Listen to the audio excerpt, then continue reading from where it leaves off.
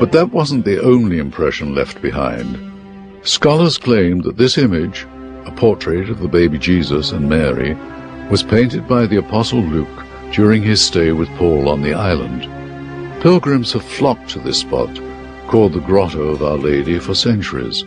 Many claim this painting is undeniable proof that the disciples were indeed shipwrecked here. But whatever the relics signify, there is no denying Paul's influence on the island of Malta. His conversion of their community demonstrates the true power of faith. But Paul's final obstacle was one even he could not overcome. Upon arriving in Rome, he was living on borrowed time. Following two years of imprisonment, Paul would stand trial before the Emperor Nero.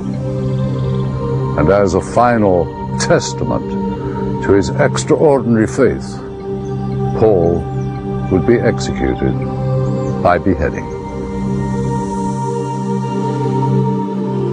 And the relics of that sacrifice, the beheading column and a bone from Paul's arms, are kept here at the Church of St. Paul's Shipwreck in Malta.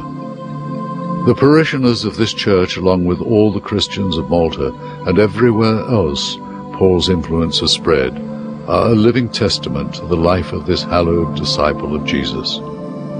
Paul's influence on modern Christianity cannot be overestimated. What we have to say is that without Paul, we would not know Christianity and the church as we do it today. The Acts and Letters of the Apostles are more than a collection of missions and missives. They provide concrete evidence tied to historic and geographical records which proved the validity of the disciples' journeys and the faith that guided them past overwhelming obstacles. In the midst of that persecution, the church is established and becomes in a very short period of time this dominant force in world history. These writings aren't just important to history. Passing through centuries, empires, and languages, the Acts and Letters of the Apostles remain vital and impactful to this day. Contrary to the Bible's detractors, recent scientific discoveries have actually provided more evidence to support the Bible's authenticity and accuracy than to discredit it. It was science that led me to recognize that a creator must exist. The reliability of the Bible has been repeatedly proven and demonstrated. Many people try to find contradictions in the Bible, but there really are none. According to the testimony from our experts, it appears that the Bible is actually enriched with facts and may very well be historically accurate.